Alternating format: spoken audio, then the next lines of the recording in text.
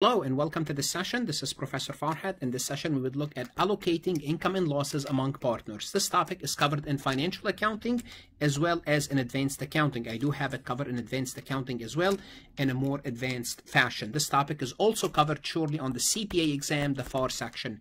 As always, I would like to remind you to connect with me on LinkedIn if you haven't done so. YouTube is where you would need to subscribe. I have 1,700 plus accounting, auditing, finance, and Excel tutorial.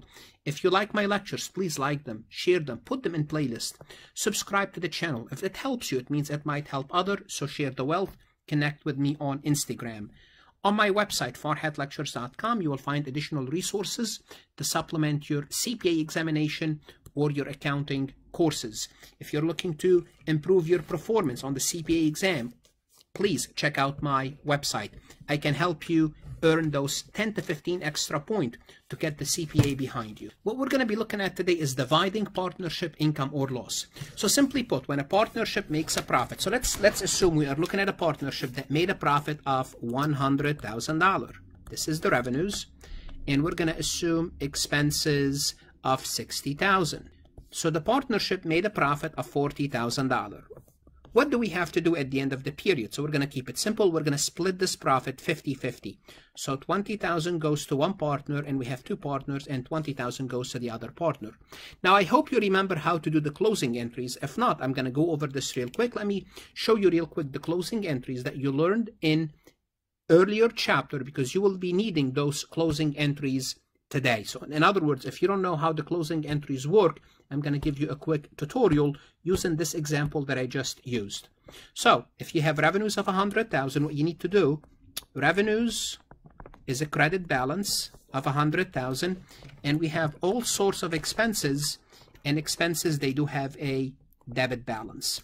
So what we need to do first, we need to close revenues. So how do we close revenues? We are going to debit revenues, 100,000 to close it down to zero and we're gonna for for for uh, revenues we're gonna transfer this account to income summary so we're gonna debit revenues credit income summary and what we did is we transferred the 100,000 to this account now we're gonna have to do the same thing with expenses we're gonna I'm going to use a different color. We're going to credit expenses of 60,000, make the expenses go down to zero, and move the 60,000 to income summary. Now what happened is we have 40,000 in income summary. Now from this income summary, this 40,000, this is the profit. Remember we have $40,000 in profit. So the profit sits in income summary. Then the profit will be distributed, in quote, distributed to each shareholder. So what's going to happen, we have two partner. We have partner with the name Adam and partner with the name, my name, Mansoor. So we have two partners. And what's going to happen is we're going to credit Adam's account 20,000.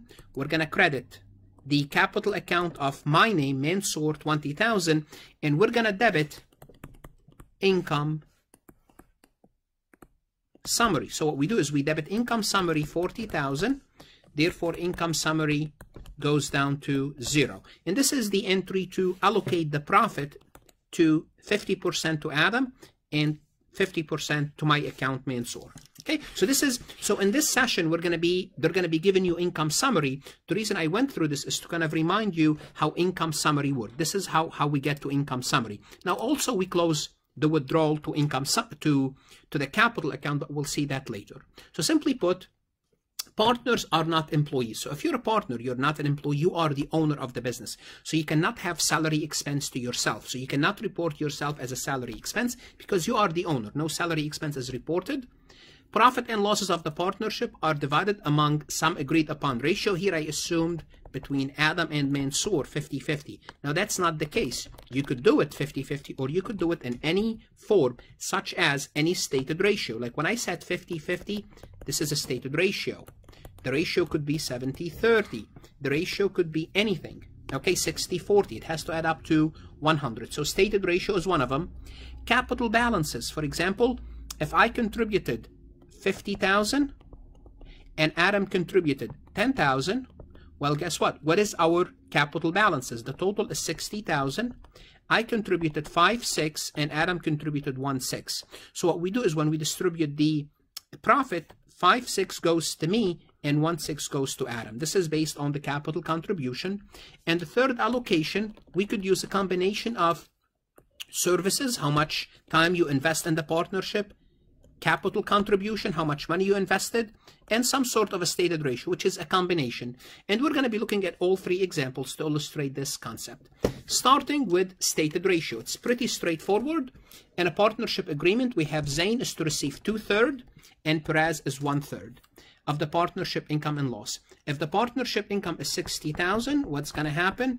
Two-thirds, which is 60, almost 66%, and one-third goes to Zain. Simply put, two-thirds is uh, 40,000 and one-third is 20,000. Therefore, we increase Zain's capital 40, we increase Perez's capital 40, and we debit income summary. But you know where the income summary came from. Income summary came from revenues and expenses. Let's take a look at capital balances. Remember, uh, another way to allocate the uh, profit is based on their capital balances. Zane and Perez agree to allocate their profit based on their beginning capital balances. So what what's their beginning capital balances? Well, let's assume that this is the beginning cap beginning capital balances. Zane contributed 30,000, Perez contributed 10. So Zane 30, Perez is 10. They add up to 40,000. Now we need to find the ratio. 3 divided by 4 or 30,000 divided by 40,000 is 75%. What's going to happen? Zain gets 75% of the profit and Perez gets 25% of the profit. Therefore, we'll take 75 times 60, 45,000 is allocated to Zain, and 25, uh, 15,000, which is 25% of 60, is allocated to Perez. Why did we do so? Because they wanted to share the profit based on their beginning capital balances, how much you contributed. And remember, it's you look at the beginning of the period, beginning of the period capital balance, because this is the beginning. And if I ask you, what is the ending balance of Zane? Well, Zane started with 30,000, then Zane increased their balance by 45. Zane's balance now is 75. If I ask you, what is Zane's ending balance? And we'll do the same thing with Perez. Started with 10, increased by 15, their balance is 25,000. This is the ending balance.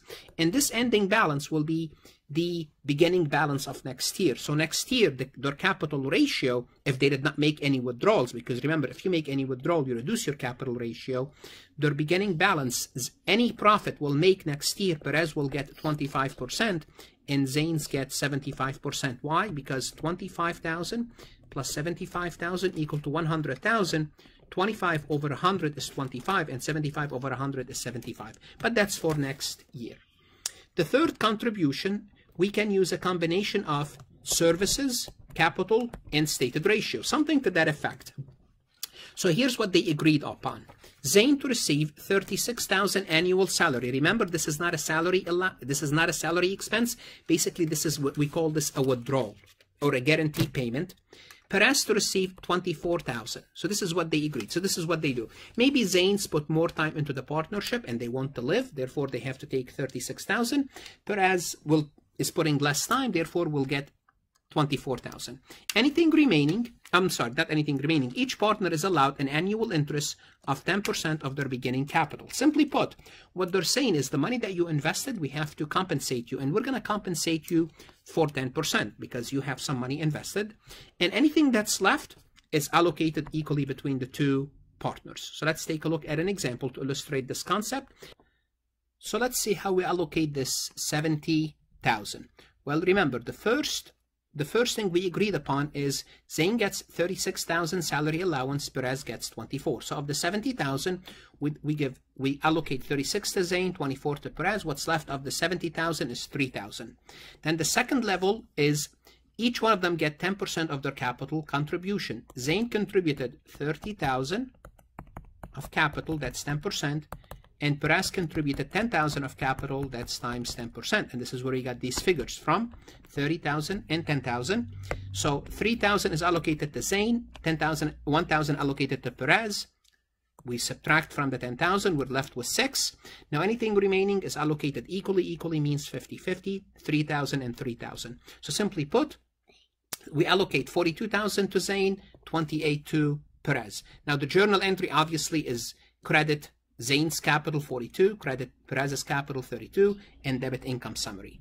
Now let's assume the income is only 50,000. What's going to happen is this. We're going to follow the same formula, but here we might have a negative balance. So how do we deal with this negative balance? First, we allocate based on salaries. 36,000 to Zane or allowance and 24,000 to Perez. That's going to give us a remainder of 10,000. You don't stop. This is an allocation process. You have to keep on allocating until you follow all the formulas. Now, remember, 10% of 30,000 is 3,000, 10% of 10,000 is 1,000. Now we have a deficit of 14,000. Now this deficit will be allocated equally to get rid of the negative 14,000. So we're going to allocate 7,000, negative 7,000 to Zane, negative 7,000 to Perez. Now we net them out Zane gets 32,000, Perez gets 18, and together they equal to 50,000 of the net income that we wanted to allocate in the first place. Let's take a look at the what's called partnership financial statement.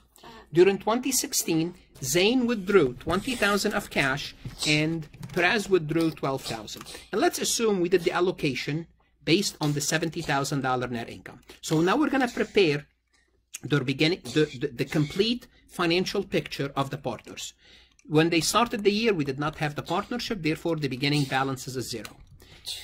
Zane contributed 30,000, Perez contributed 10,000, that's the beginning of their capital balances. Then the net, then we allocated their, uh, the profit of 70,000 based on salary, interest, and any remaining balance. And here's what we did earlier. So we allocated 42 to Zane and 28 to Perez. Notice the total of 70. Then Zane withdrew 20,000. We're going to deduct it from Zane's capital. And Perez withdrew 12,000. We're going to deduct it from Perez's capital. Now, the ending balance for Zane is 52,000 and the ending balance for Perez is 26. And the partnership has capital of 78,000 in total. So notice what we did here. We added the partner's withdrawal. Now, what is the entry for the partner's withdrawal? Simply put, we're going to credit cash. We're going to credit cash for 20,000 for Zane, and we're going to debit the withdrawal account. We're going to have a withdrawals for Zane, and that's going to be a debit of 20,000. So this is the entry. Now, so let's take a look at this example to illustrate this concept. Merkel and Putin began the partnership by investing 6,000 and 4,000 respectively. So simply put, Merkel invested 6,000, Putin invested 4,000. So this is the credit and the debit will be to cash. Kind of if you're interested where the debit goes, the debit is to cash, but we're only looking at the capital account. During the first year, the partnership earned $80,000. Prepare calculation showing how the, the 80,000 is allocated to the partner under each of the following three separate plans for sharing income and losses. The partners fail to agree on a method to share income. Now, what we are saying here is we have 80,000 of income summary. That's what we're saying. How are we going to allocate this income summary? Now we have to be very careful here there is a tax, there is a tax requirement, there is a financial accounting.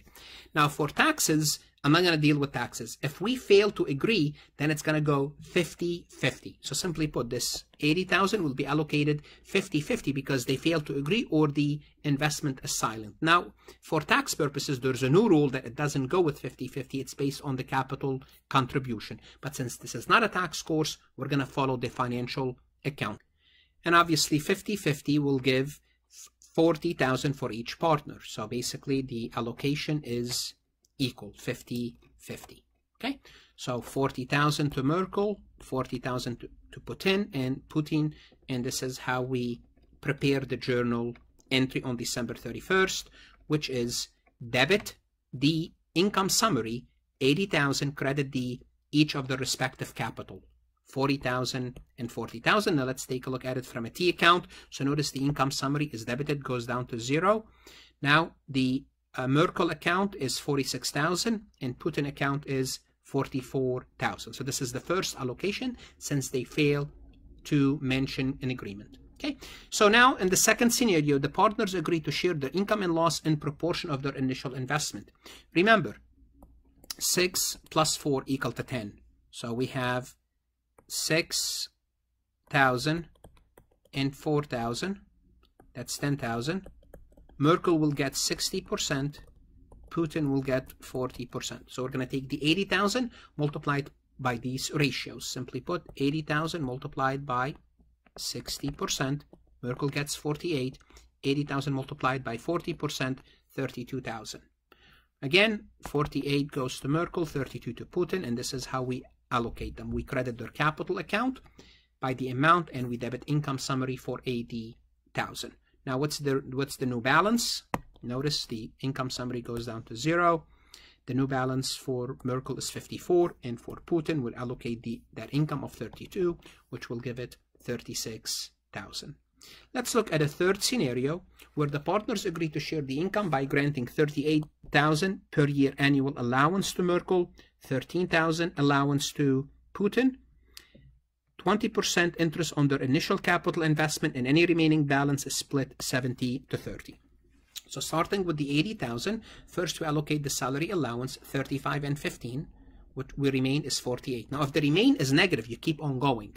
It doesn't matter because at the end you'd allocate the negative against the positive. But now it's still positive. Interest allowance, 6,000 times 20% to Merkel, that's 1,200. 4,000 times 20% is 800 for Putin. That's $800 and 1,200. Again, what's left is you have to reduce this, um, uh, you have this um, these amounts reduce the remaining balance, which is now remain the, now we have, we are down to 30,000 because now we allocated 50 and anything left which is 30,000 is split 30 to 70 70% of 30,000 is 21,000 30% is of 30% of 30,000 is 9 and now we are left with nothing. We allocated everything. The, the remaining balance is 0 of the income. Now we add up we add up those and 57,200 goes to Merkel, 22,800 go, goes to, to Putin, and here's the journal entry to allocate this income. Basically, we credit their capital and we debit income summary because we need to close income summary. So income summary is closed, credit the capital balance. If you like this recording, please like it, share it, put it in playlist, always, I would like to remind you to visit my website for additional resources if you're looking to supplement your accounting education or pass your CPA exam. You invest in your education once in your lifetime. Make it properly. Good luck. Study hard. Accounting is worth it. In the next session, we'll look at admission and withdrawal of partners. Good luck and stay safe, especially during those coronavirus days.